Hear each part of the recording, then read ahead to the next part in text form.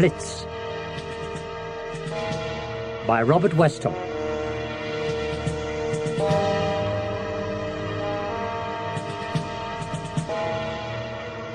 The ruined city of Kor.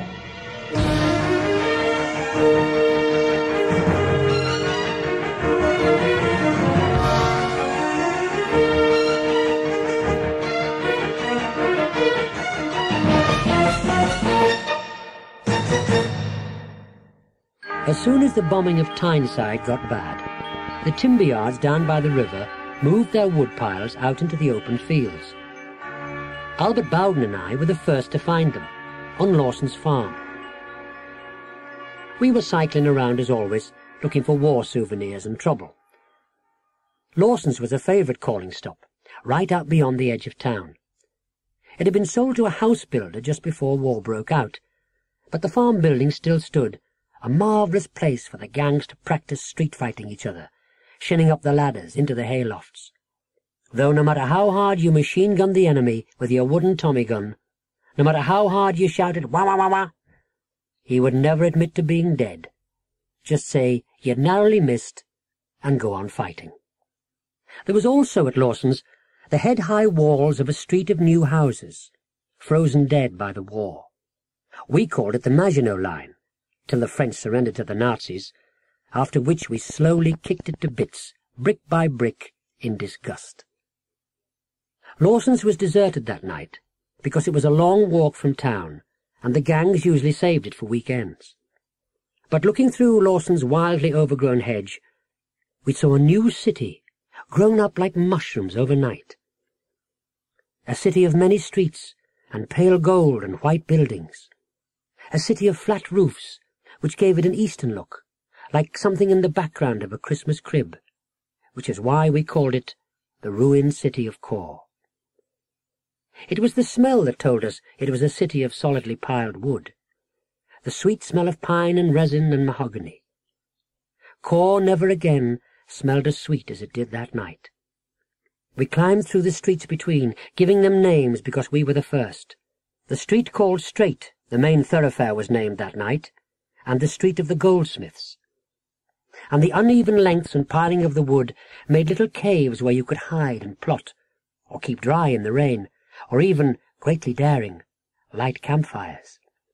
Later there was a side street of caves used by lads who'd got taken short, or couldn't be bothered to walk home, and that got called Rotten Row.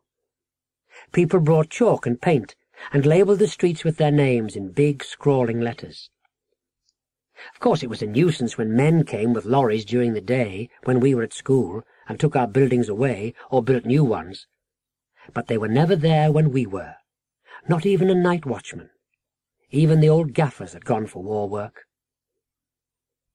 There were two games we played in the ruined city of Kor, besides street fighting.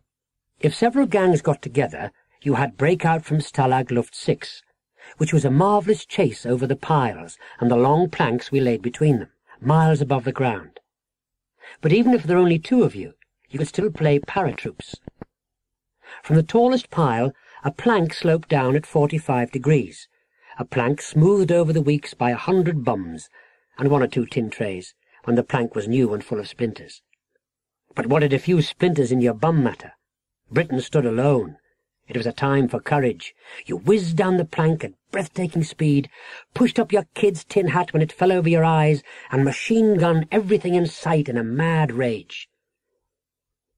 Albert and I were playing paratroops the evening things really happened.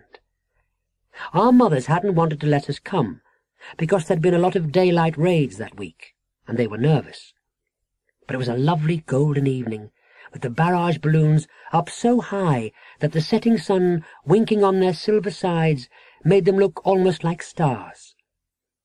People thought then that if the barrage balloons were high, there wouldn't be a raid. They used them like the weather forecast. How wrong they were.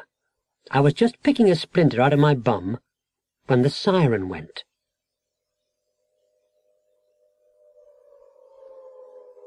No, we weren't terrified.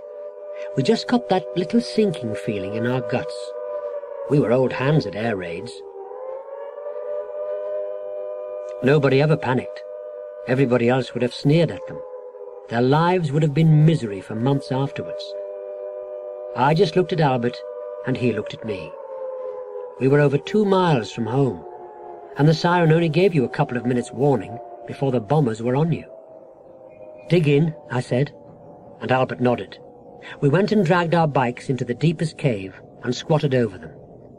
We didn't feel in any danger from falling shrapnel, not under twenty feet of wood, not unless Jerry dropped incendiary bombs on us, and then we could still get out fast before the whole place went up in flames. It'll only get you if it's got your number on it, said Albert.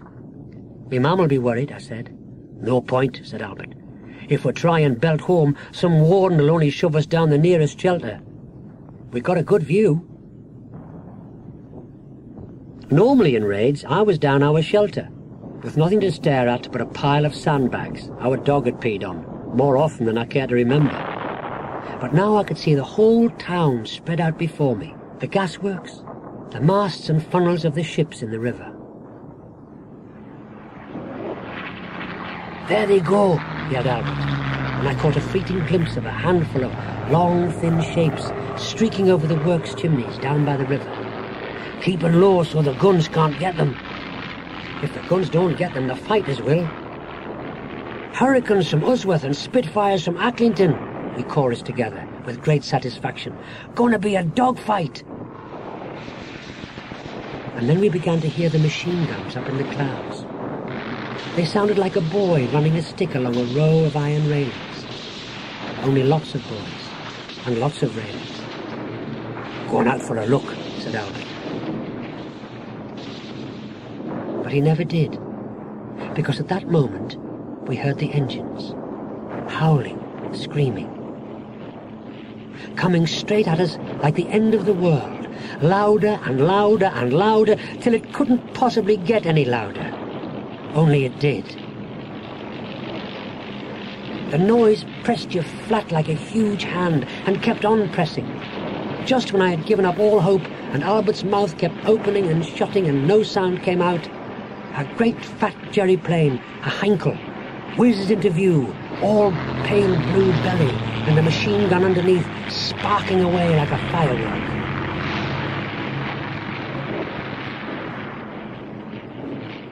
and then it was just a dwindling speck, and the stink from its smoking exhausts.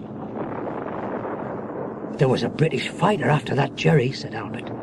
The Jerry was shooting at it. Oh, where is it then? I said. It was then we heard the crash. It was like the night me mam pulled the Welsh dresser over, trying to hang up the Christmas decorations, only worse. Then silence. Only a dog barking in the distance. Something's got shot down, said Albert. Wasn't it Jerry? Oh, God. We sort of screwed up, like when the opposing team score the winning goal. It was an awful feeling. Shall we go and look? He might be trapped. He might be... It was unsayable but we went.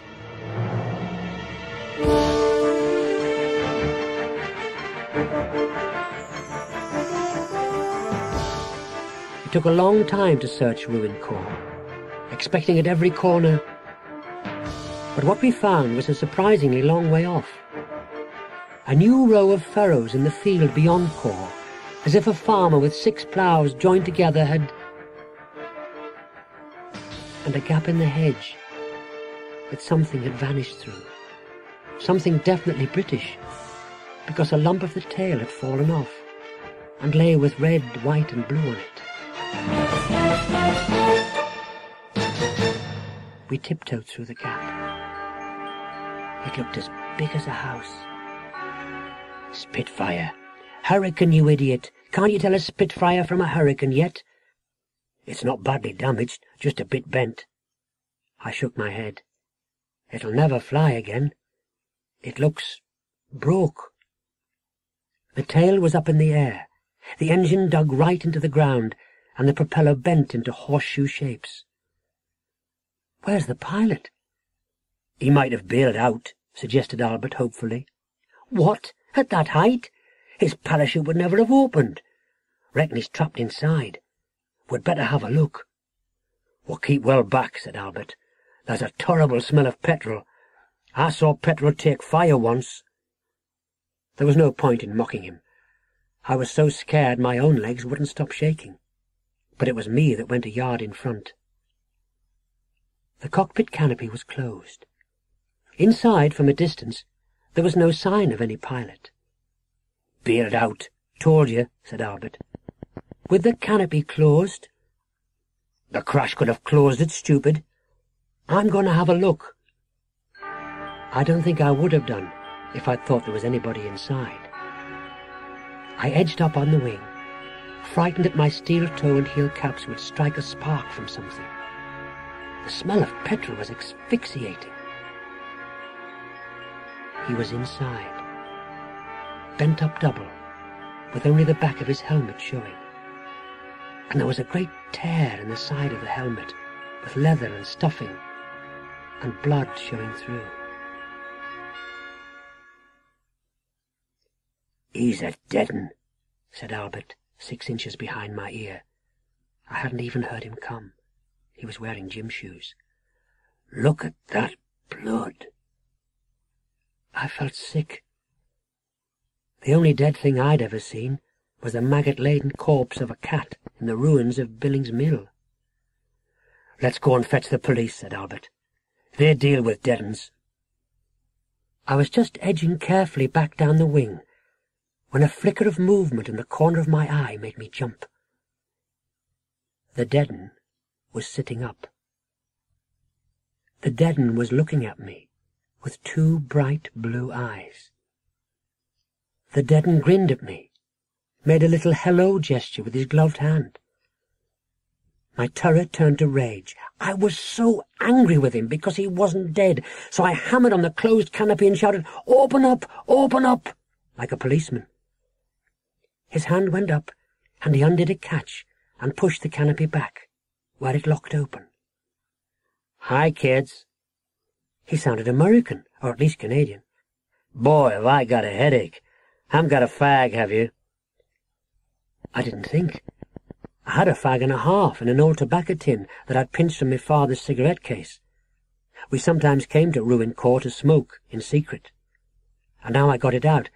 I mean, the RAF were our heroes, the Brylcreem boys.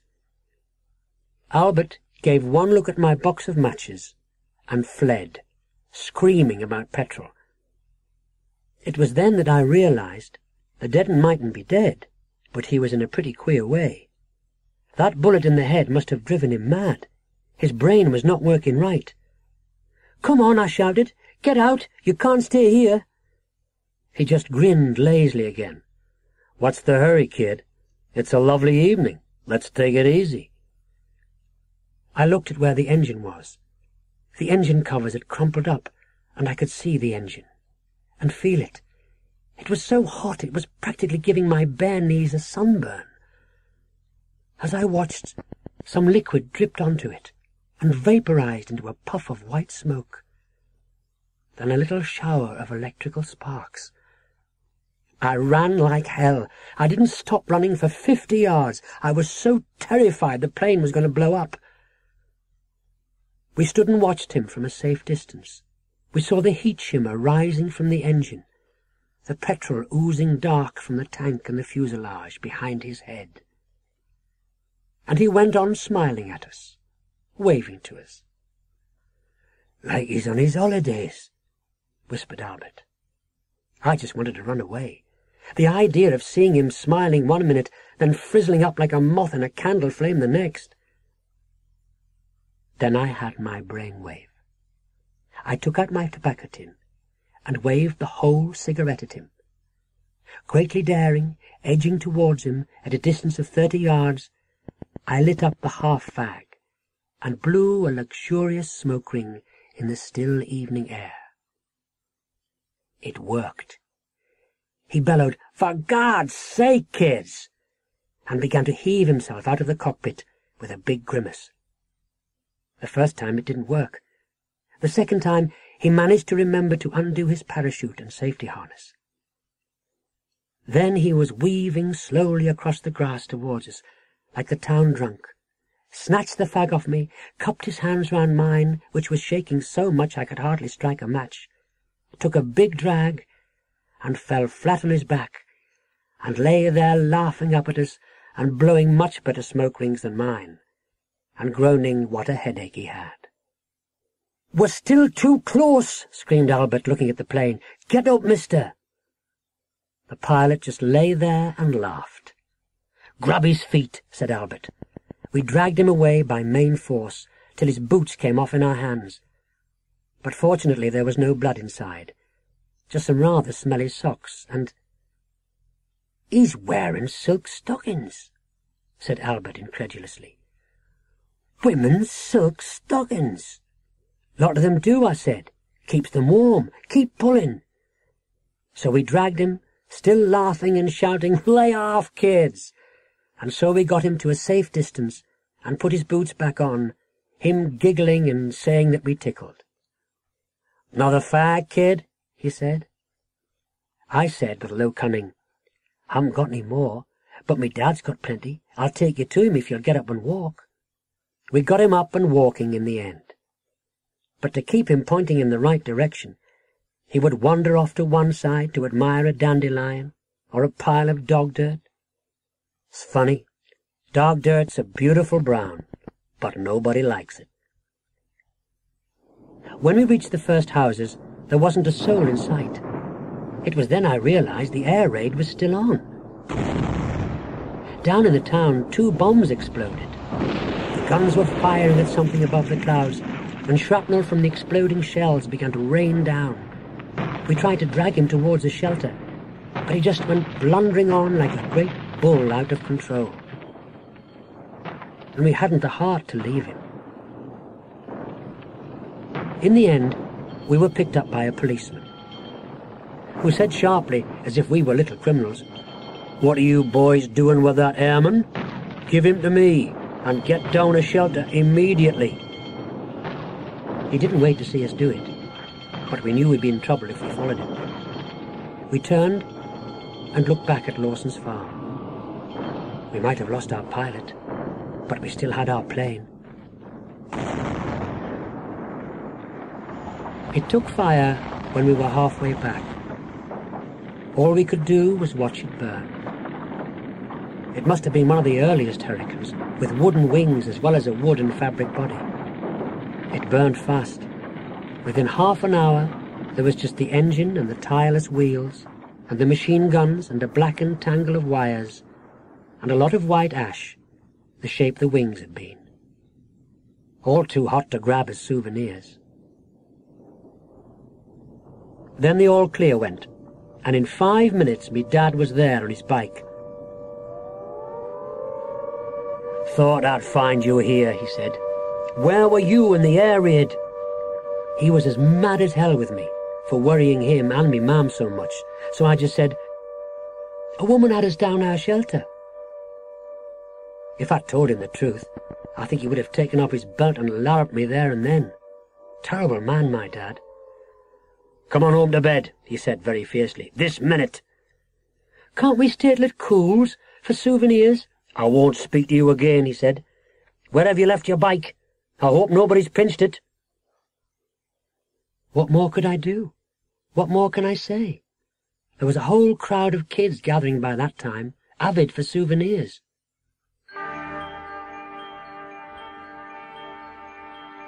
When we went back the following day, thieving kids had stripped the site bare. There wasn't a scrap, except the big engine and bent propeller. And the RAF soon sent a lorry to take that away.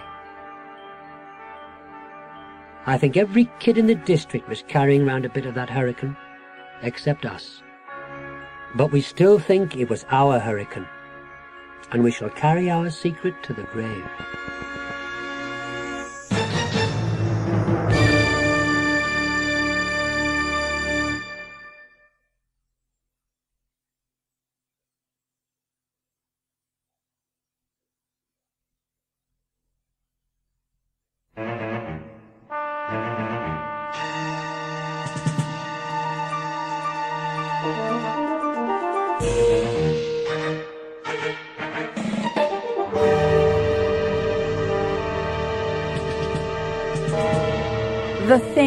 Upstairs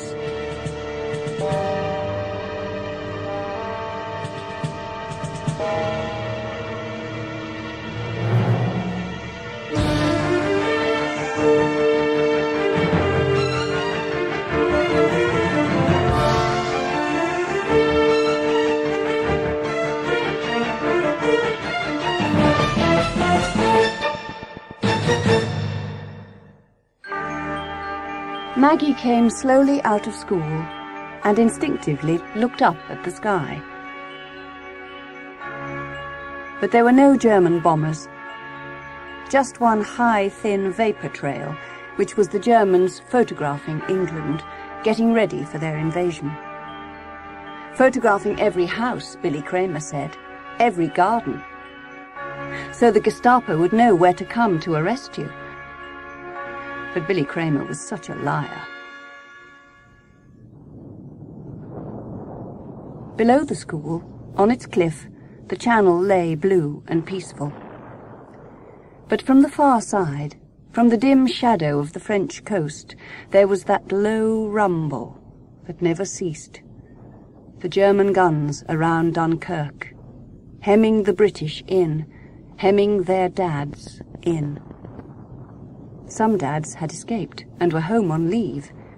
Tony Milburn's dad was, limping with the aid of two sticks, but still in khaki uniform, still with his rifle in the cupboard at home in case the Germans came. Aggie Phipps's dad fetched her from school every night, in his filthy oil-stained battle dress, as if he was afraid the Germans might steal her. He hugged her so tight.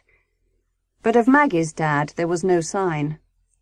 He was still over there, somewhere, with his beloved lorry that he called Martha. The boys had been playing a game called Dunkirk for days, tearing round the yard, machine-gunning everyone on sight, even the head, with invisible machine guns going wah-wah-wah with their mouths, pretending to throw hand grenades and waiting for the explosion with their hands over their ears and eyes as wide as saucers falling dead with widely flung arms and excruciating screams, only to leap up again immediately to machine gun somebody else. Boys were stupid. Dunkirk wasn't a game. Dunkirk was where your dad was. But ever since this morning, the boys had given up playing Dunkirk. Instead, at every possible opportunity, they gathered in the corner of the yard and stared into the bike shed. For inside the bike shed, when they arrived for school that morning, they had discovered a little tank. At least, the boys said disparagingly, it wasn't a real tank. It was called a Bren carrier, and it had no turret, just a tarpaulin fastened securely over its open top, and it was no bigger than a car. At first they just stood and stared, standing in a circle four boys deep, so no girl could get near, even if a girl wanted to. They admired its great muddy cogs, and the caterpillar tracks, and the strange painted symbols on its side, and argued about what they meant. And then they began to wonder what lay inside, under the tightly stretched tarpaulin. A Bren gun, or even dead soldiers. Billy Kramer began to untie the ropes that held the tarpaulin in place, while the rest waited agog, their hearts thumping painfully in their heaving chests. Billy took a long time. He made the most of it, being a show-off, saying he recognized the smell of a dead body. But when he finally threw back one corner of the tarpaulin with a fair-ground flourish, all there was was a half-eaten tin of bully beef that ponged to high heaven, a pair of boots that ponged even worse, and a copy of an old French newspaper called Figaro that had been torn into quarters for use on the Lave. And then the head had arrived like an avalanche, grabbed Billy painfully by the ear, and hauled him into school for a caning. Since then, old Brimbley, the caretaker, had stood on guard over it, grim as a policeman in his old brown overall. The boys dared do nothing but they still stood staring at the huge, muddy object, as if the solving of all Britain's problems lay within. And all day long, through lessons, they had heard the head screeching down the telephone in his study for someone to take the hideous great thing away. But it seemed that no one would, for he was still yelling down the phone, his voice hoarse, when Maggie passed his door on the way out of school. She didn't linger. She had much worse things to worry about than horsehead masters or Bren gun carriers, worse things even than Dad being still in Dunkirk. She was terrified her mum was going mad. Mum had been all right till two days ago. Tight-lipped, pale, worried to death like everyone else's mum, but normal. And then, yesterday morning, she'd come to Maggie's room to wake her up, and the pinched, worried look was gone. She looked ten years younger, rosy-faced, like a young girl. She had sat on the bed and said, It's all right, Maggie. Everything's going to be all right after all and she had hugged Maggie so tight that Maggie had felt she was being squeezed to death. And Mum had laughed strangely, deeply. And then Mum had wept a little, because Maggie could feel Mum's tears sliding down to her scalp through her hair.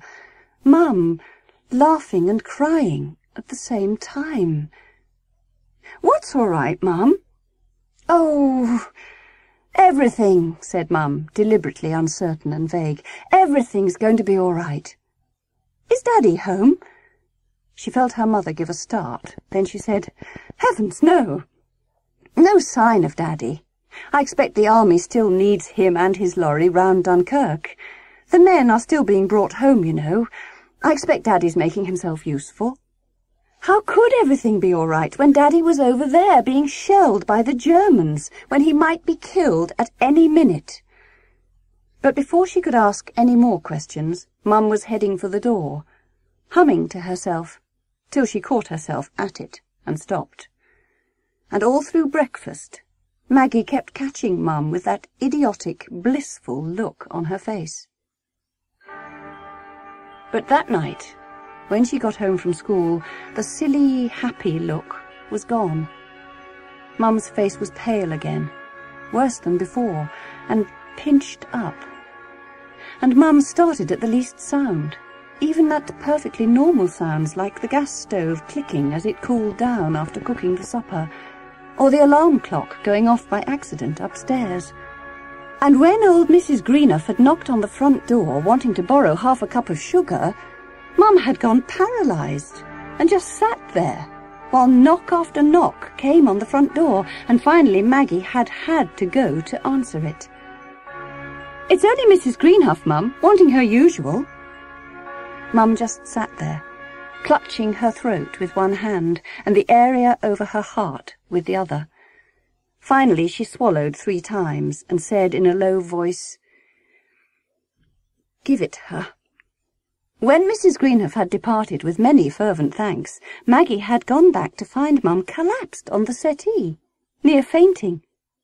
She had had to run and fetch Mum's smelling salts and mix her a dose of sal hepatica, which was always an ominous sign. Whatever's the matter, Mum? Oh, it's my nerves. What with your daddy and the Germans? But daddy and the Germans had been bad for weeks. Maggie put her key into the lock with a sinking heart. Mum had said she mightn't go into work at the shop today if she didn't feel any better. Maggie called out down the hall. There was no answer. She called louder. Still no answer. And then she noticed Mum's coat and hat were gone from the hall stand, so she had gone to work after all. She must be feeling better. But hat and coat were no proof that Mum had gone to work, really. She might be wandering round the town, still going mad. Uneasily, Maggie sought the refuge of her bedroom. There were potatoes to peel, but they could wait. Mum might return too insane to cook them. Maggie flung herself onto her bed and stared around her room, seeking comfort from old friends. The three teddies sat on their shelf, as usual, leaning safely together. She never played with them now. Just put them under the bed for safety when the air raid siren went. There was her Dutch doll, fat and rosy-cheeked. Really, apart from the blackout curtain and the tape across the windows in big stars, her room looked no different from in peacetime, when Daddy had come home at five o'clock every night, and Mum had been always happy and singing. How could some things change so, and yet other things stay the same? Above her, the ceiling creaked. Her heart gave a terrified leap, and then she relaxed. She hadn't been frightened of the creaking ceiling for years, not since she was little, and Daddy had explained it creaked because the sun made it hot and the beams expanded. Then night made it cool and the beams grew shorter again, and in growing longer or shorter, they made a creak. She was getting as bad as Mum. She laughed, to try to make herself feel better. Then the ceiling creaked again, and again, and a fourth time, it never did that, not four times in a row straight off. It was almost as if something heavy was moving about up there, some heavy creature. And the next time it creaked, she swore she saw the ceiling move, and a little tiny speck of whitewash broke loose and twinkled down slowly, like a tiny parachute. And that set her thinking about the German parachutists, descending in their hundreds over the skies of Holland and Belgium, so the sky was black with them in the cinema newsreels. And they said they did not come as soldiers, but as spies, saboteurs. Disguised as nuns and clergymen, they had blown up bridges and ammunition dumps. Billy Kramer said they were landing in England after dark already, disguised as bus conductors and Salvation Army. She lay frozen with fear, listening. A sound came down through the ceiling. It sounded very like a groan, a soft groan. She leapt off the bed, trembling from head to foot. There was somebody up there, in the loft. Was that why Mum was so terrified? But why had Mum run off and left her? Alone with it? Oh, she told herself, this is silly. This is England. This is our house, 17 Breton Gardens. It was a charm she had often used, but this time it didn't work. And then came a sound that brought just a tiny bit of comfort. A snore? Was it a snore? She had to be sure. Silently, gingerly, she put her bedside chair onto her chest of drawers and climbed up and listened. The slightly damp, pungent smell of the ceiling plaster and whitewash filling her nostrils. She put her ear right against the plaster, and then she knew it was snoring. A sleeping spy?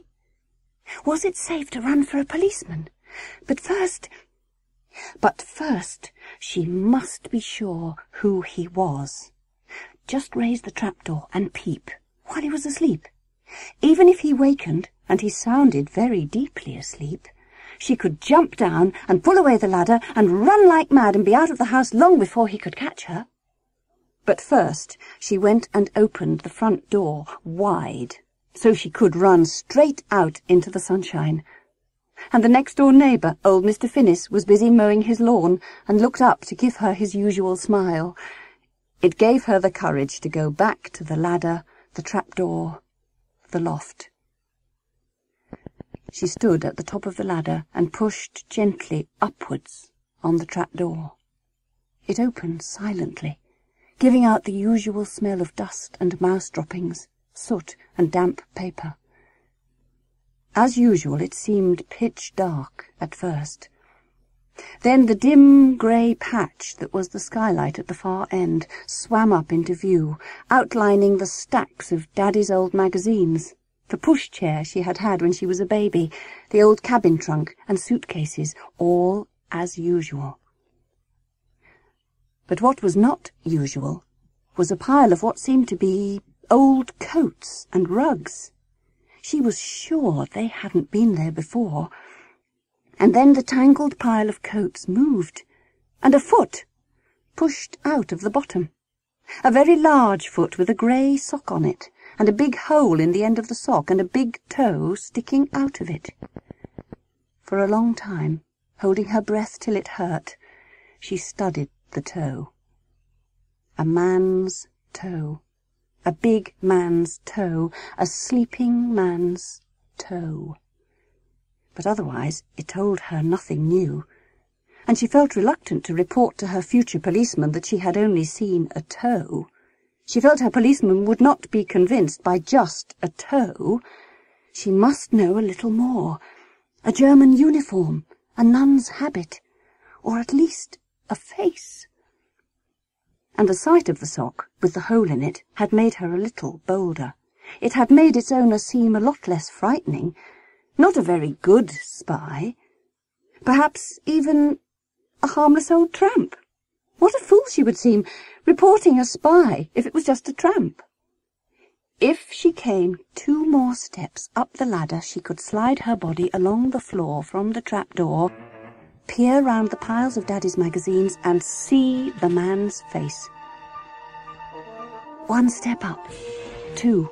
Raise the trapdoor higher. Silently begin to slide her chest across the floorboards through the dust that made her want to sneeze. The huge hand descended on the collar of her school coat without warning, dragged her in the whole length of her like she was a mewling puppy. Behind her she heard the trap door bang shut. The rancid smell of a filthy male animal filled her nostrils. A great filthy face loomed up at her through the darkness. Maggie, said a voice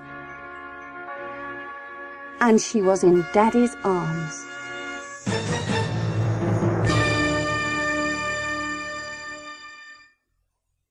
We didn't want you to know, he said wretchedly, when the cuddling had finally stopped. It was just to be a secret between Mummy and me. But why? You're safe. Is Martha all right?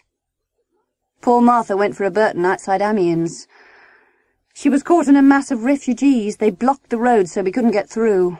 Then a Stuka put a bomb into her. She burnt for hours. I kept looking back and seeing smoke. She felt Daddy shudder and knew there was more he was not telling her. How did you escape?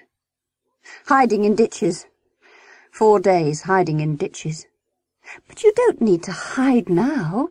He said in a low voice, They left us, Maggie.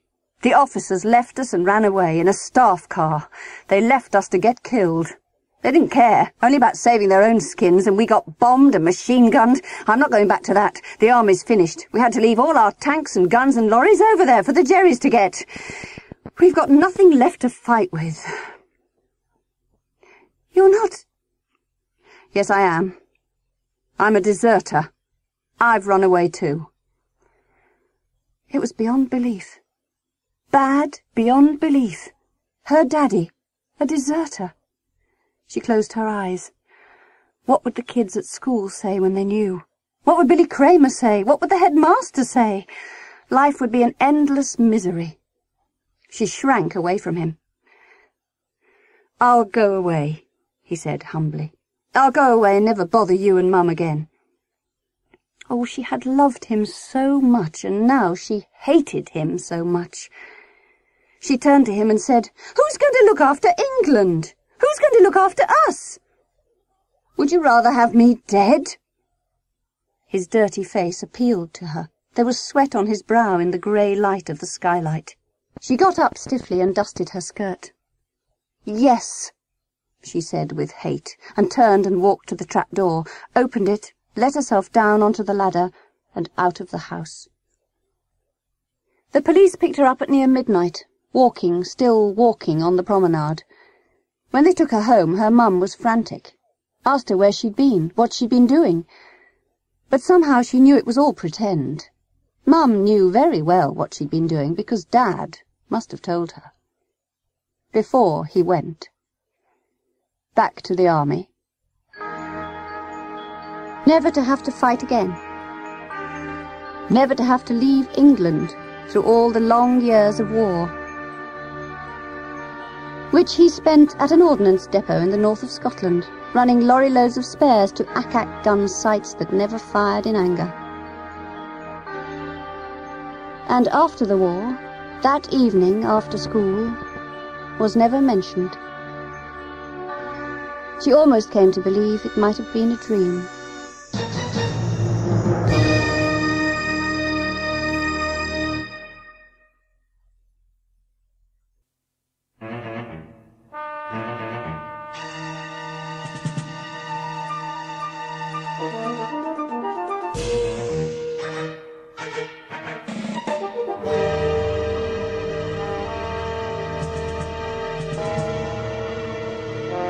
Operation Cromwell.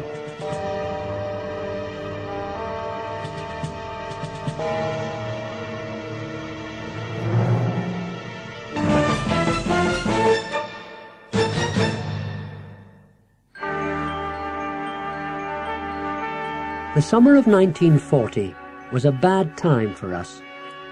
My father was a dairy farmer.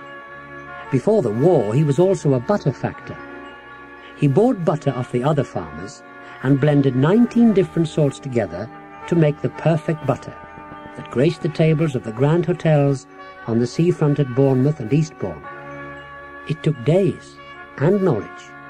He was a real craftsman. But when the war came, the government stopped all that. We had to sell all our butter to them, so they could cut it up in tiny portions to sell on the rations. All the profit would have been gone. My father always got an extra twopence a pound for his special butter, and those hotels were fuller than ever, with all sorts of high-ranking officers dining out their own wives, or others. Where would the running of the war have been if those high-ranking officers didn't have their proper food? So we only sold so much of our butter to the government. The rest still went to the hotels. The newspapers might call us black marketeers, but I reckon we were a vital part of the war effort. We moved our special butter around after dark, secretly, in my dad's old car. The car was special, insofar as it had a little boot most other cars didn't have, under the back seat. You could only get to it by lifting the seat up on the inside. It worked a treat, till the summer of 1940 and the fall of France. Then Anthony Eden, the Foreign Secretary, came on the radio and called for fit men between 16 and 60 to volunteer for the Home Guard. On the news, they said that a million men had come forward in the first week. A million nuisances. Us lads went to watch our local Home Guard drilling in our schoolyard. We were a bit mad, because we'd used to play football in that yard in the evenings. To us it was our yard. But they just nicked it without a by your leave. And what a mess they were. A lot of those useless individuals didn't know their right foot from their left. They were drilled by the landlord of the pub, who'd been a sergeant in the Royal Engineers. He had a bellow like a bull. We soon learned to imitate it to perfection and we'd stand there shouting, About ten, in his voice, and having them march slap into the entrance of the girls' toilets. Laugh. Finally, he'd get so mad he'd come tearing out of the gate and chase us. But he never caught anybody but little Billy Swan, who'd only come to watch and who wasn't shouting false drill commands at all. I mean, if they couldn't catch kids, how were they going to catch Jerry paratroopers? but they were soon on patrol, defending Britain's shores by night, because they were too busy making a living during the day. I'm glad the Germans didn't come then. Those Home Guard were a sight. They only had half the uniforms they needed, but they'd shared them out, so that some had battle-dress tops over their usual corduroy trousers, and others had battle-dress trousers with a clean white shirt on top that their wives had carefully ironed for them so that Jerrys could see them clearly in the dark, I suppose. They had three shotguns among them, and the rest had hay forks. And they had this little Austin 10, which the blacksmith had turned into an armoured car, with sheets of half-inch steel, which made it so heavy that the tyres ran nearly flat, and it could only do about five miles an hour. But they still used it for the only thing they were good for, roadblocks. They'd pick any road at random and half-block it with their armoured car, and stop every car that passed and search it for Nazi spies and saboteurs and secret radios and explosives and such. It didn't help our butter smuggling at all. My father did what he could. He joined the Home Guard himself, with the idea that the Home Guard wouldn't stop and search a mate's car, especially if the mate was in Home Guard uniform and my father had a full Home Guard uniform straight away, cap and all, because he slipped a couple of pounds of butter to the Home Guard quartermaster at Brighton. Because, you might say, butter greased us a smooth path through the war. Fish fresh off the fishing boats, Bacon off the pig farmers, you could get anything with a little bit of butter. Even the fags the tobacconists kept under the counter for their special customers. But Dad's uniform didn't help all that much, because we had to pass outside our own home guard area on the way to Bournemouth or Eastbourne, and those blokes were fanatics. They'd even search the vicar's car. They'd even bring their wives to strip-search nuns, because everyone said that the Nazi paratroopers who dropped in Holland and France and Belgium had been disguised as vicars and nuns. The church had a very hard time of it. My dad's next idea was to ensconce my Auntie Maud in the back seat of his car. She weighed thirteen stone, and in her fur coat she just filled the whole back seat. And she said she had such bad rheumatics in her knees that it took four strong men to lever her out once she was in. Since no one in their right mind could mistake her for a paratrooper, they never made parachutes that big, the Home Guard usually gave up while she was still stuck halfway out through the door. Mind you, she could get out nippily enough once we took her home afterwards, with her little pound of butter. Anyway, with me in the front passenger seat and Auntie Maud in the back, we got clean away with it, until the fatal night of September the 7th, 1940. We were halfway to Dover that night, on the lonely road across the downs, when Auntie Maud suddenly yelled, Stop! We screeched to a halt. Auntie Maud in the back was very hard on the brakes. What? roared my father, looking round furtively at the totally empty dark road. I thought I heard church bell ringing, said Auntie Maud.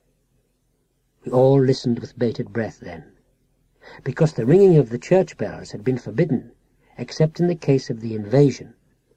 They were meant to be the warning of the invasion. But all we heard was the night breeze. My father let out an explosive sigh of relief. They're only ringing inside her head, he muttered. She's suffered from tinnitus since she was a girl. To her he said, The Nazis won't get you tonight, Maud. It's not that I'm worried about, she snapped. It's me butter. My father let off the handbrake and drove on. But after about a mile, he braked again with a curse. Beyond the dim glow of our blacked-out headlights, something bigger than any man was moving in the road. I peered ahead nervously, trying to make it out, wondering about Frankenstein's monster and Nazi secret weapons. It's a horse, said my father in disbelief. A horse with a girl on its back. He wound down the window and shouted, Can I help you? in a pretty rude voice. He hasn't much time for the local hunt. He reckons they break his hedges and frighten the cows and cut down the milk yield. Oh, I say, called the girl, in a voice that did remind me of our local hunt. You haven't seen any Nazi paratroopers, have you? Now, why should you ask a daft question like that? asked my father heavily. The girl had come closer. The horse was very excited and restive, with foam round its mouth and I think Dad was scared it might damage the car. It was a very large horse. Haven't you heard? asked the girl, dismounting. Her eyes were like saucers. The code word's gone out. Cromwell. To the army and the home guard. It means the invasion has started. Oh, I, said my father, very disbelieving. Where? I was in Dover, said the girl, and at nine o'clock tonight all the trumpets sounded from the castle cliff. Perhaps they're having a band practice, said my father. No, it is the invasion. The Germans have dug a secret tunnel across the channel and are coming on the surface near Lympne. My job is to cover the downs and report any paratroopers by public telephone. I've got my money ready, you see. She held up two big round pennies. Well, the best of British luck, miss, said Dad, and put the car into gear again.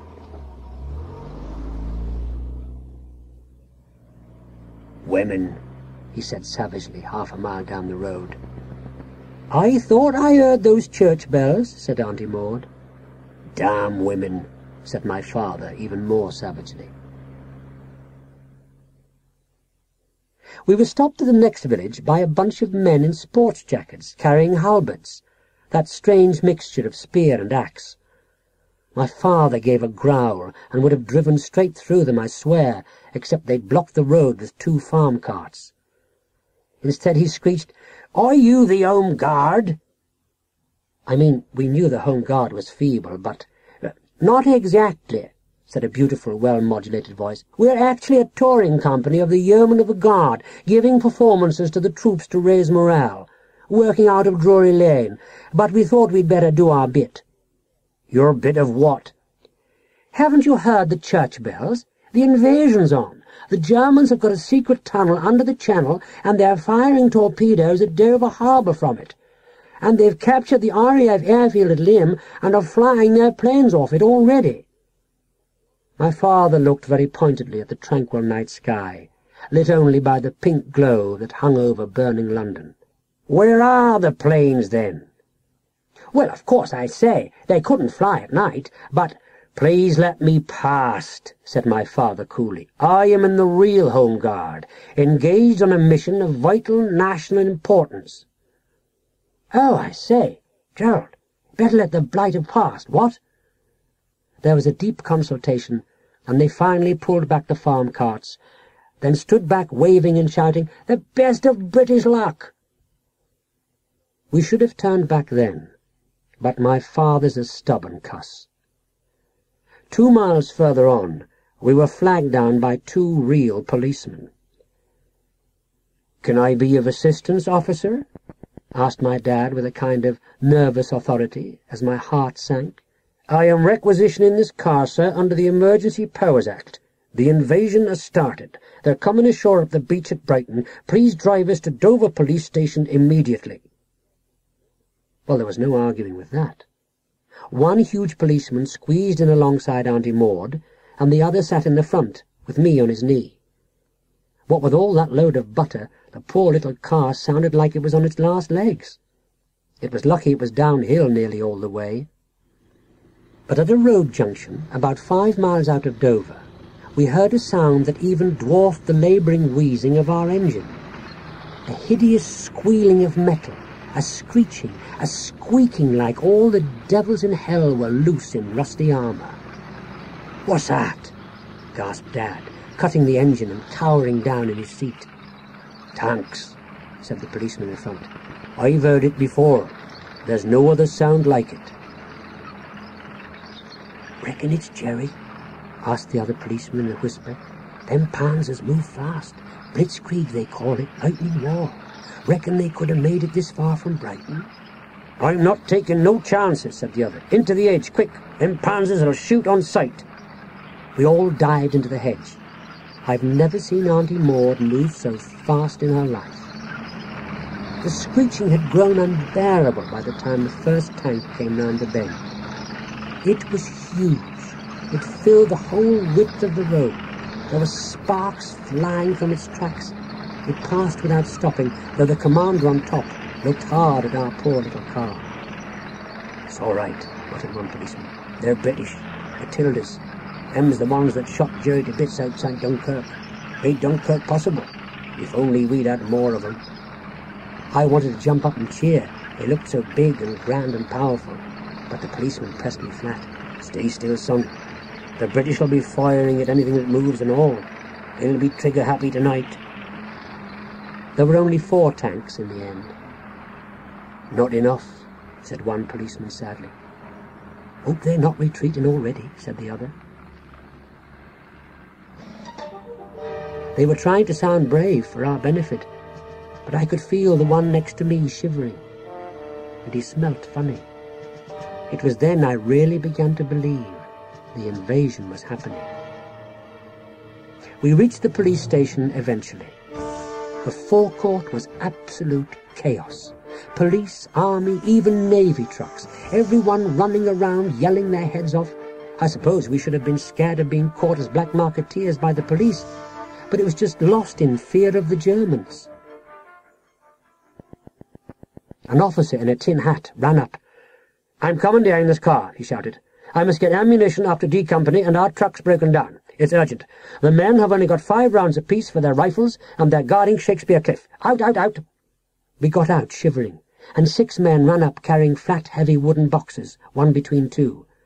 boxes about as big as our box of butter. There's not room for it all inside, sir, panted a man. Yes, there is, snapped the officer. My father's got a car like this.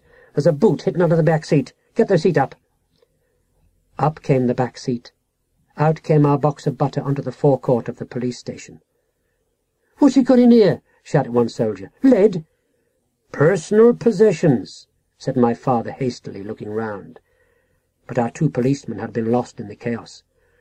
What shall we do? Wailed Auntie Maud, looking very hard at the butter box. Sit on it, snapped my father. He was always a quick-thinking man. The box vanished utterly under the skirts of Auntie Maud's fur coat. Right, sir, said the officer to my father. Will you drive us up to Shakespeare Cliff? I'll show you the way. We spent the rest of the night driving, defending Britain. We saw a lot of soldiers, guns, tanks, policemen, and refugees starting to panic and take to the roads. What we never saw was Germans. Not a trace. And as the night went on, the place they were landing seemed to get further and further away. Eastbourne, Bournemouth, Portland Bill, Lyme Regis and Dorset, Exmouth, Plymouth. We were actually pulling into Area HQ with a request for hand grenades when we saw an officer with red on his cap standing stretching his arms on the tarmac in the pink dawn, and from the very way he stretched, I just knew the Germans had never come. Load of stuff and nonsense, old boy. All the code name Cromwell was meant to mean was invasion imminent. But it never happened. Right, thanks, chaps, said our officer to us. Stand down. Duty well done. Sorry I can't invite you to breakfast in the mess. The world was beautiful. England was still free. The cool morning air seemed like champagne, the best we'd ever breathed. All we had to worry about was getting our black market butter from the police station. Funny how one terror can replace another. People went to prison for black marketeering. Our local mayor was serving three months for a fuss about a side of bacon. It was like walking into the lion's den. But glory be, in the clear morning light after a night of cold and terror, Auntie Maud was still dutifully sitting there on the forecourt, and a nice young constable was just giving her an enamel mug of tea. Why did she have to stand up when she saw us? Stand up and wave? Hello, said the nice young constable. What's all this? He reached down and opened the lid of the box, stared at all the serried rows of packets of butter. Butter, he said to himself, and he gave Auntie Maud a very hard look. It was then that Auntie Maud excelled herself. I dunno, she wrinkled up her face. It was just somewhere to sit. My legs were hurting. Some fellas left it there. They had Welsh accents. Asked me to keep an eye on it for them. What did they look like? He was still suspicious. I don't know, Ducky. It was dark, wasn't it? Hey, Sarge, called the constable. Inspector, sir, called the sergeant. Even the superintendent came out. Must be black market stuff, said my dad helpfully. All the coppers looked at him. What are you doing here? the superintendent asked. Oh, me and my car got commandeered by the army. I had to leave our Maud with you for safety. Right, said the superintendent. Well, we'll take this butter in charge, thank you very much. Good day to you. His expression had turned from suspicion to gratification. You could tell he was thinking about breakfast. He walked away with two constables carrying it behind. But I saw them lifting the lid and helping themselves to half-pound packs and shoving them into their pockets before they even got through the police station door. Ten quid's worth of our best butter that would have paid a farm labourer's wages for a month. As I said, 1940 was a bad time for us.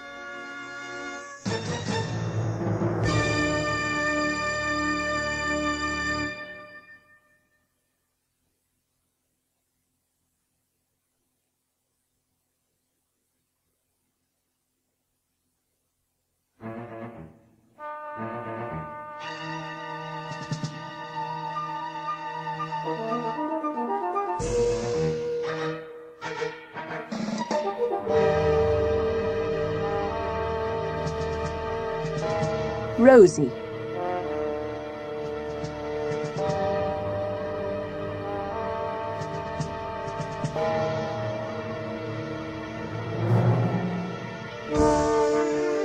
Rosie cut down Lime Street, walking fast. Not easy in the blackout. But there was a moon tonight, flirting with the clouds. A bomber's moon. Rosie was an ARP warden. Air Raid Patrol a full-timer and proud of it. She liked being one of the few women wardens, even if she'd had to lie about her age to get in. She was only 18, but big with it. She liked the comradeship of the warden's post. She liked all the new people she met. Before the war, she'd been a mother's help.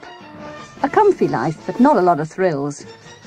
Changing nappies, wheeling prams round Seffi Park, She'd loved the babies and they'd loved her, but it hadn't been getting her anywhere.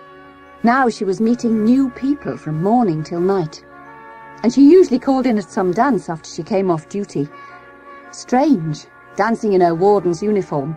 But there were plenty of girls in uniform now. Wrens and WAAFs.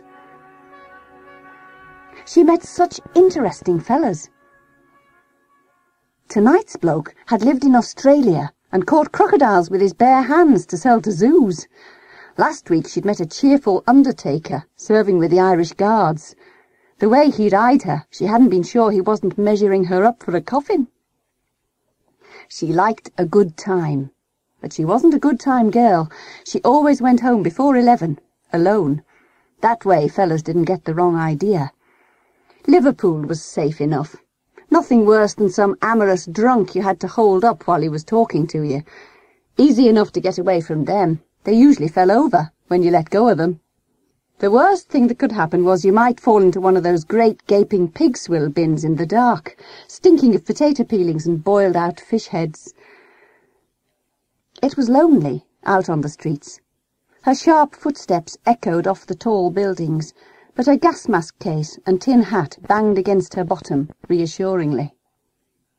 And the pubs might be dark, but they were full to bursting behind their blackout curtains, roared out choruses of We'll meet again and Roll out the barrel cheered her on her way. Mind you, the war was terrible for some people, like those poor people down that shelter in Mellor Street. The bomb had burst outside the door, and killed them all with the blast, with hardly a mark on them, even the little kids. But Mellor Street wasn't in Rose's district, and you only worried about your own district now. Rose's district had had a few bombs, a few people buried under the rubble, but she'd helped to dig them out with her bare hands, working shoulder to shoulder with the fellas, and held their hands till the ambulance came. She'd cheered them up, and that made her feel good. Rosie hurried on. The pubs were further apart now, and even the alleys were silent. Just the odd moggy, poor things, scavenging at the pig swill bins. She was just bending down to stroke one when the siren went, for the third time that day. Rosie got the usual sinking feeling in her gut, but she wasn't all that worried. Air raid sirens couldn't kill you. She listened intently through the dying drone of the siren for the sound of bombers' engines, and heard nothing. She'd carry on for a bit, try and get home before anything happened. Her ma would worry if she was caught out in a raid. Ma might even leave the shelter and come looking for her, as far as the chippy in Scobie Street, then batter Rosie over the ear when she found her for causing so much worry. Good night, Moggy. Best of British luck. Her footsteps quickened. The gas mask banged harder against her bottom, as if urging her on. She'd gone nearly half a mile before she heard the bombers coming. She was in a district she hardly knew. Really poor people, to judge from the state of their doors and windows. But you couldn't be choosy when the bombers came. You just ran for the nearest brick street shelter with its concrete slab roof. Not many shelters around here. Poor people were always the worst looked after. Bet the toffs had shelters and to spare up Croxteth way. She ran and ran, turned a corner by a chapel with bombed-out windows, saw the three brass balls of a pawnbroker's. Then a great square shelter loomed up. She made the doorway just as the first guns opened up overhead, turning the night white-black, white-black, making a noise like some daft kid banging a tin tray right in your ear that echoed across the whole sky after. Then she heard the shrapnel shrieking down like dead rockets on bonfire night and ducked through the blackout curtain into the shelter. There was room by the door, on the slatted benches. She flung herself into it, to get her breath back. She must cut down on the ciggies, except it was hard to refuse when the men wardens offered them friendly-like. Still panting, she looked around and sighed. It seemed a totally miserable sort of shelter. People huddled together in a dim blue light, silent except for the racking cough and the dismal wail of a baby at the far end. Some shelters were really jolly. Fellas brought a fiddle or a squeeze box, and you could have a good sing-song to drown the noise of the bombs. In some of the bigger ones there was dancing, a good knees-up, as those cockneys called it, in some there was even a drop to drink, or people passing round homemade toffee and biscuits. Some even had buskers doing their spoon bashing or playing the air on a G-string on a musical saw, or telling rude jokes that made the mums scream with laughter and then tell their kids to put their hands over their ears so they couldn't hear. But this was a bunch of real miserable sods. Looked really sorry for themselves. Nothing but cough, cough, wheeze and snore. Might as well be dead, Rosie thought. Where there's life, there's hope. She caught the eye of an old fella opposite. She said, just to say something, Be great tonight. I expect they're copping it down the dingle. Hope they don't hit the off-licence. The old man nodded, friendly enough, but he didn't say anything. Then he pursed his lips and shook his head, as if he was afraid she might wake the kid he was nursing on his lap. God, even the kids were spiritless. In the shelter at home they were always yelling for a condensed milk butty, or punching each other and chasing round the whole shelter and getting their ears battered all the way round. What was the matter with this lot? Had they left their sense of humour at the pawnbroker's up the road? So she told the only really dirty joke she knew. If that didn't get them laughing, it would take a thousand-pound bomb to shift them. Again the old man raised a finger to his lips. Rotten old killjoy. Like the deacons in chapel when she was a kid. Children should be seen and not heard. No giggling in the house of God. Cripe, she thought. This isn't a chapel, it's only a shelter. There must be somebody lively, further down. She turned her head and shouted, Are we downhearted? In her home shelter, the yell of no would have raised the concrete roof two feet in the air and made the liver birds rock on their perches. Here, nothing. Silence. Cough, cough, wheeze, snore. They might as well be dead.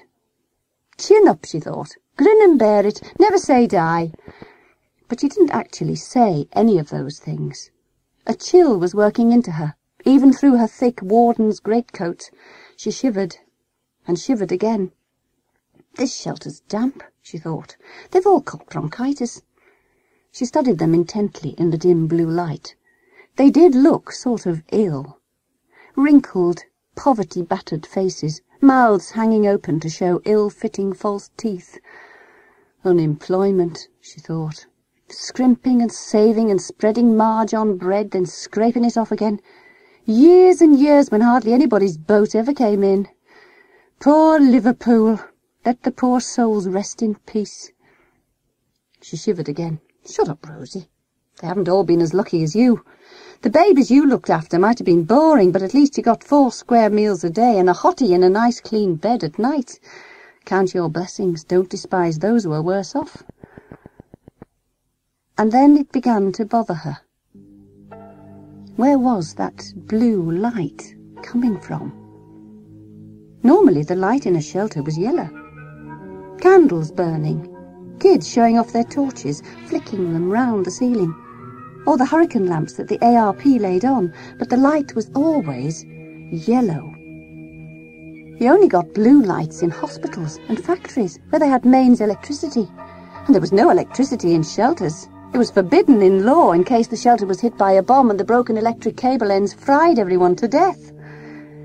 So where was the blue light coming from?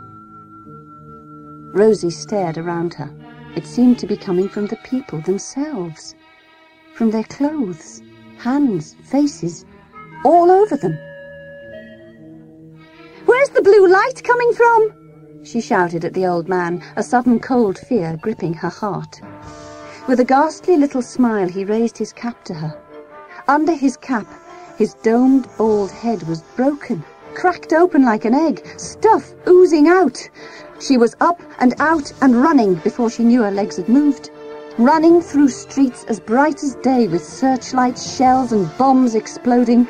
But still she ran. She would have run into the mouth of hell itself to get away from that shelter. It was the singing that stopped her in the end. There'll be bluebirds over the white cliffs of Dover. Another shelter. An accordion playing. People bellowing their lungs out. She staggered inside. Every face turned to look at her. Interested, grinning faces. Hey, Waka, said the warden by the door. Catch your breath. You look like you've seen a ghost. When Rosie finally caught her breath, luxuriating in the yellow candlelight, the hot breath from the singing, the little kids tripping over her legs. She asked the warden, Do you know a street near here with a bombed-out chapel and a pawnbroker's? He flinched as if at some quite unbearably horrible memory. You mean Mellor Street? Asked.